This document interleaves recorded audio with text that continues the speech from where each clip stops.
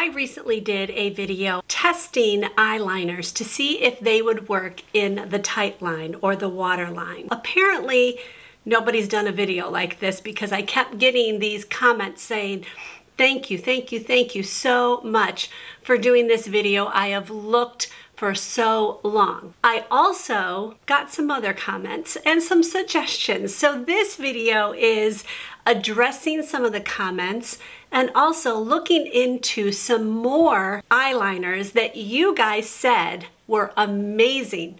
I put them to the test. Now I know most of you are here to find out which ones really did work and which ones didn't based on your suggestions. So I'm going to address the comments and the questions and the suggestions and things like that at the end of this video. And if you want to see that, you can fast forward to that. I'll put a timestamp right here.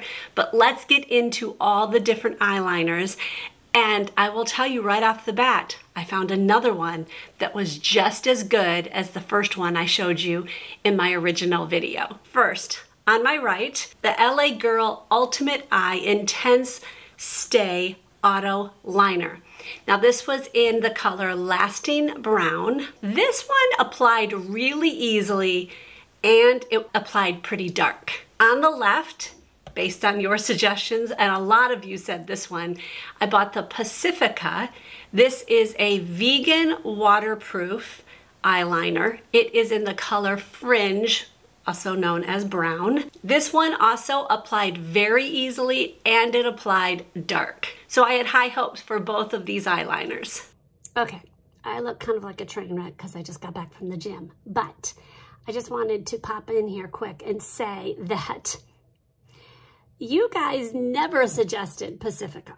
None of you. At least I don't remember seeing that. I went through and was grabbing some of the screenshots for what I've put in the video.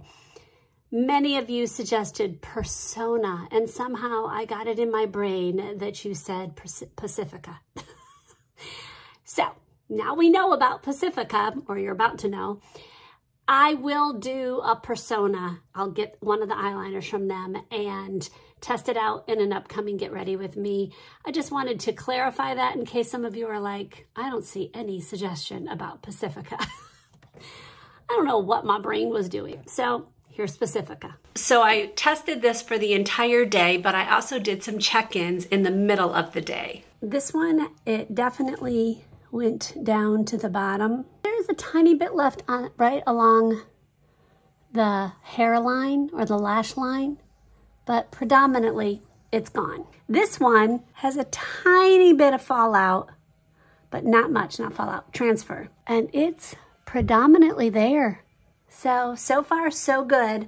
I'll check in at the end of the day. At the end of the day check-in, the LA girl, which again was on my right, transferred down a little bit and it did go away a lot, but it was still there right along my lash line, right along the hairs. So I wasn't too disappointed with the LA Girl. The Pacifica did not fare as well. It transferred down completely and it was almost completely gone. So for me, the Pacifica was definitely a never again. The next day, we tried another LA Girl because they have a few different types and you guys suggested these, both of these types.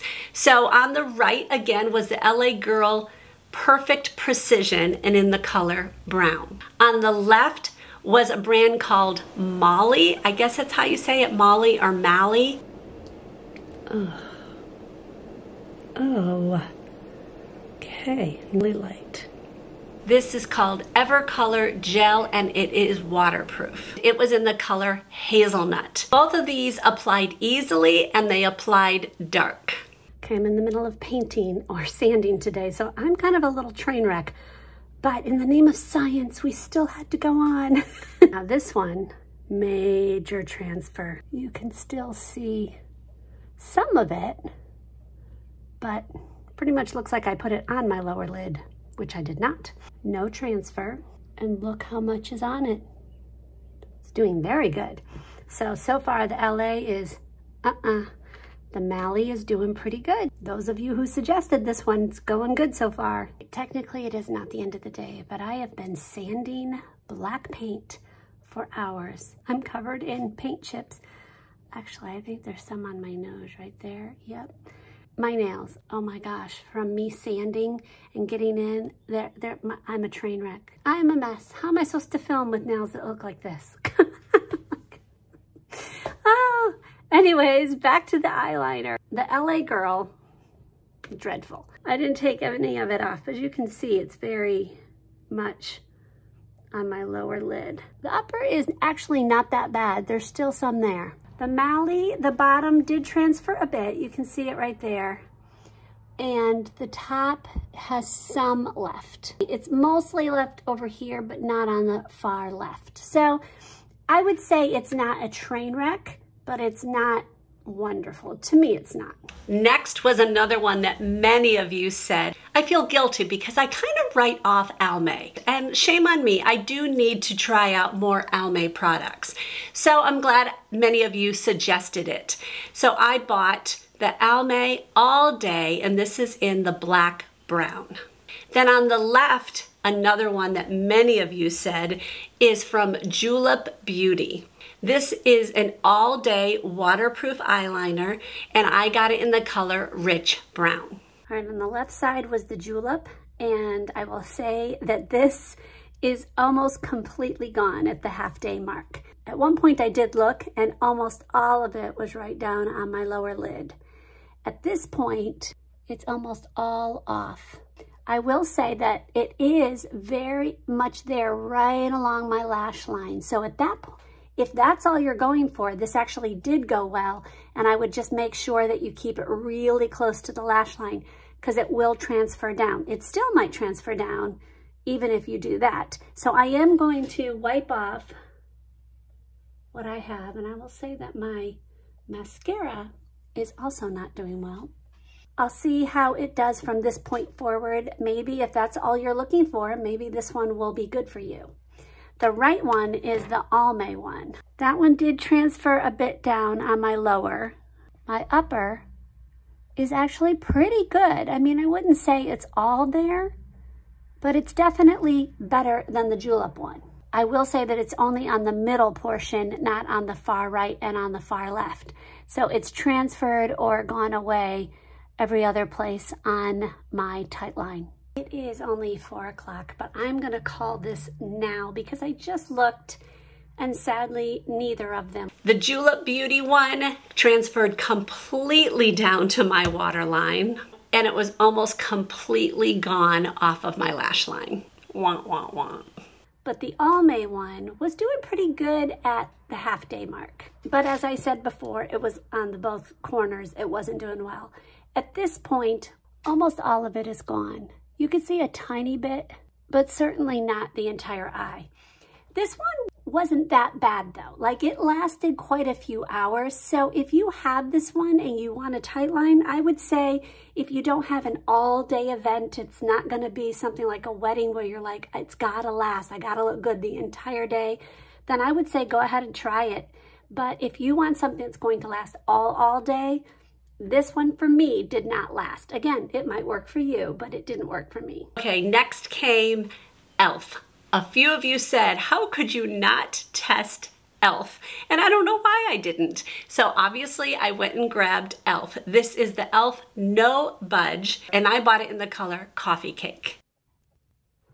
Kind of light. This might not be a good one for the waterline just because of, it just goes on so light. Let's try again, let it dry down a little bit. I feel like I'm just rubbing and rubbing, it doesn't come off. It's pretty much as dark as I'm gonna get it. I'm gonna just get it warmed up a little bit on my hand because it is pretty dark. Maybe I just need to get it started. Maybe it's an older eyeliner. It's been sitting on the shelf and I wouldn't know that. Let's get it started a little bit. Okay, rubbed it quite a bit. Let's try again. If you want your waterline to be a lighter brown, then the e.l.f. one will be a good choice for you. But usually you want something a little darker than that. So it's not it's not too good right now. That was on the right. On the left, I tried a brand that I really have not tested out either. It's Rimmel London. And they have one called Scandal Eyes 24 Hour Waterproof Gel in the color brown. Way darker, than the e.l.f. That one went on much better. I'm gonna try again with the e.l.f. Oh, my mirror is in your way. And do it the way I just did. Sometimes you just need the friction of your eyelashes to deposit a little more, you know what I mean? No, it didn't do any more. But who knows, if it stays on, but it's a lighter brown, that might be the look that you're looking for. So let's just see if they stay on all day.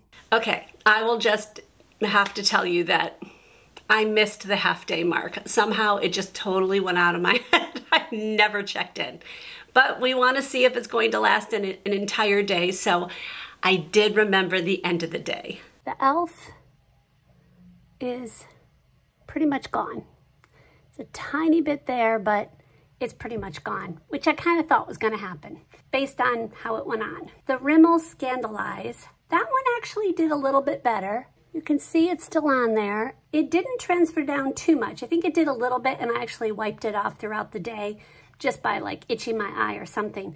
But it actually did okay. Next came my last two and then we will get into some things that you guys wanted to let me know and some suggestions.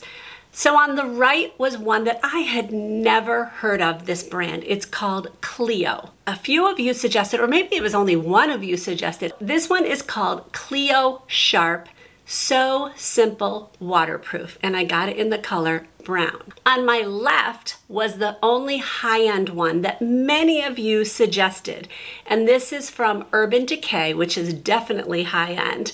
And it is their 24-7 Glide On, waterproof, long lasting, and I got it in the color Whiskey. Now I will tell you that a lot of these, I almost bought the wrong one, have a shimmer to it, which I don't want in my waterline. You may want it, I didn't. So I almost bought one and then I was just looking at it on my hand. I was literally at the register ready to pay and I went, is there a glimmer to this? And the lady at the register is like, yes, this is at Ulta. And I'm like, okay, wait, I don't want that. And I went back and tried on some more brown and the whiskey does not have a shimmer to it. So I was happy to find that. Sadly, I lost my footage of my original application of putting this on. I don't know how that happened. I cannot find it anywhere. I do have the half day and the end of the day check-in. I will say that both the Clio and Urban Decay went on very easily and they went on dark. So I was very thrilled with the actual application. These have been on my eyes for several hours, so I just checked. The Urban Decay one is, lift it up, is pretty good. Like, I wouldn't call it amazing, but I would say it's pretty good. It's definitely wearing off on the edges and it definitely transferred down. So that I'm not real happy with. The Clio, nothing transferred down onto the bottom. The top is way better. Like it's actually almost as good as when I first put it on. So right now, this one is definitely doing better than the very expensive Urban Decay one. Again, remember, this is on my eyes. Might work differently on your eyes, but so far, this one's doing better. All right, it is almost seven o'clock and I'm gonna go wash my face. So I just checked and the Urban Decay side, um, I actually didn't look on the bottom again. Okay, yes, it's continuing to gather on the bottom or collect on the bottom. The top is there, but only about halfway there. The, I keep forgetting the name of this, This one is doing really well. It never went on the bottom lashes or bottom waterline at all. The top of it, it's almost completely there. The Clio far surpassed the Urban Decay, which is good because it's a lot less money. So then I decided to compare the Milani, which is my number one pick from my previous video, to the Clio, and do they actually stack up to each other? On my right will be the Milani that you all know I think is amazing. And on the left is going to be this Clio that seemed to work just as good. So let's see which one does better. The Milani is definitely darker. They're both almost completely on. They're both doing great. Okay, it's at the end of the day and I wanted to do my final check-in for these two eyeliners. They're identical. So the Milani definitely still there and the, cannot remember the name of this thing, Clio. is also still there. One thing I like about the Milani one is it does have this extra thing at the bottom and it's just this little sponge. So if you want to take it and put it on your eye and then smudge it out, like if you're not using it on your waterline and you want to make it more of a smudged look, well, I already smudged it, it will. So if you want to smudge it, like if you want an actual eyeliner, not a tight line, I like that it has this little added thing to it. But then it does dry down and it stays put all day. They both self-sharpen, so you don't have to get a sharpener. You just wind them both up and they both self-sharpen. So that's also a good thing. And they cost about the same. Okay, so on to some of the comments that some of you said and some suggestions. Number one, I got some comments that were basically saying, how in the world do you think it is good for you to put eyeliner in your tight line and on your waterline? That is so dangerous. I had a few say that to me. Here's the thing. I actually agree to a point. Some of you went a little over the top, but I do actually agree that putting eyeliner in your waterline on a consistent basis could potentially be harmful to your eyes. If that does bother your eyes, then you need to stop. I am not an ophthalmologist. I am not a dermatologist. I just am someone who likes to have that look periodically. I do not do this on my eyes on a consistent basis. In fact, I do it only once in a great while. It's kind of more of like a nighttime look for me, or if my eyes just seem a little dull, it brings out the white a little bit nicer. So I do like doing it periodically, but I by no means do this on a consistent daily basis. So of course, do this at your own risk, but I also have never had an issue with it either. I had one woman comment and she's like, I just watched another very popular YouTuber put eyeliner in her tightline and looked at the comments and not one helpful person made a comment. So I apparently have a lot of very helpful people. So I just thought that was kind of funny tongue in cheek. Again, do it at your own risk. Don't come at me. I'm not advocating that you have to do this. I know that some of you do this and would like it to stay put. That is why I did the video, not to say that everyone needs to do this in their tightline. The other thing I will say is we are all so very different. Clearly, I just did all of your suggestions and some of them did not work for me, but you guys all swear by it, those of you who suggested them. That's wonderful. So if you have found one that works for you, please, it's obviously working for you. It's great. Some of you said, I tried the Milani, it didn't work. I totally understand that. Some work for some and some do not work for others. We all have different levels of water, uh, oil on our eyes. It's all different find the one that works. That is why I did this because I wanted to test the different ones for me and hopefully give you guys options. A few of you said that you had a hard time getting it off your eyes at the end of the day to wash it off so it wouldn't all come off. Here is my suggestion. I like a cleansing balm to get rid of all of my makeup. This is my favorite, but if you have another one that works for you, obviously just use the one that works for you. I think it comes off just great just putting it on your eyes and just rubbing your eyes. Do it gently. This is not something you have to do hard and then washing is normal and then going in with a double cleanse because again, that's just getting the makeup off.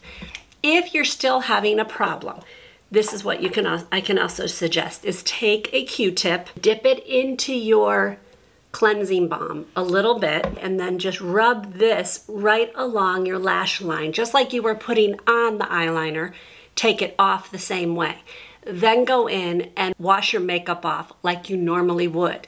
That'll just get the eyeliner in a head start to get it cleaned off. The other suggestion I would have and some of you even suggested this and I think this is brilliant, If you tend to have a little bit more oil or water on your lash line, then take another Q-tip, obviously not the same one, and before you apply your eyeliner, take this and just rub it along your eye line to just kind of remove some of those oils or the water.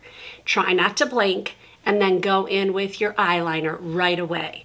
That may extend the life. And again, some of you don't need to do that, but some of you, it might be something that you could try. When I apply my eyeliner, I like to do it after I've done my eye makeup, like it's all on, my mascara, everything's on, and then I go in with the tight line.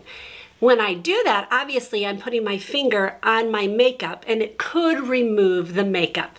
So if you have that problem, use a Q-tip and you can just take the Q-tip and that will lift your eye. And the Q-tip will have maybe a little bit on it, but it won't have the oils from your fingers that will remove some of the makeup.